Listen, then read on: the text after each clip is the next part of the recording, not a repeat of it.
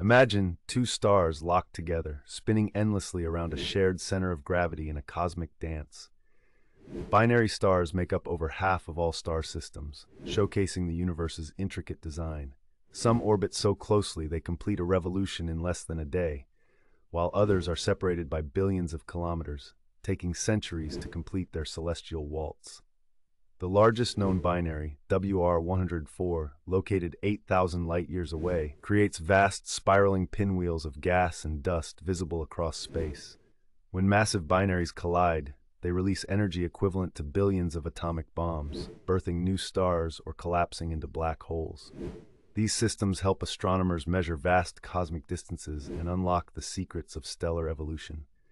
Each orbit, flash, and collision reveals the precision and power woven into the fabric of the cosmos. Reflect on the mercy and magnificence of Allah, who set these stars in motion, each pair a sign for those who ponder, a reminder of perfect order and breathtaking beauty in creation.